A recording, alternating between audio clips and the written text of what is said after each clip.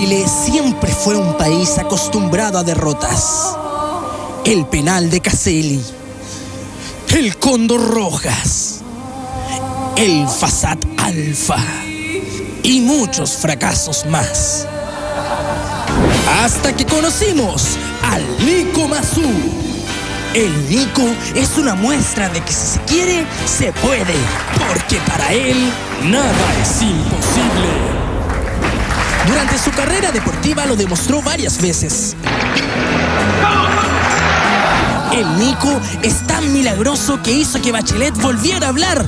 Se juntó con Piñera y después se ganó 5 lucas en un raspe. Y fue el personal trainer de Copano para que este quedara muy flaquito. Nada es imposible. Pero el Nico no es solo tenis, también ha hecho cosas en otros deportes. Fútbol. Resistencia. Ballet. Es por eso que muchos postulan poner al Nico en el escudo patrio. Nada es imposible. Incluso el Nico le puso la serpiente a la Salma Hayek.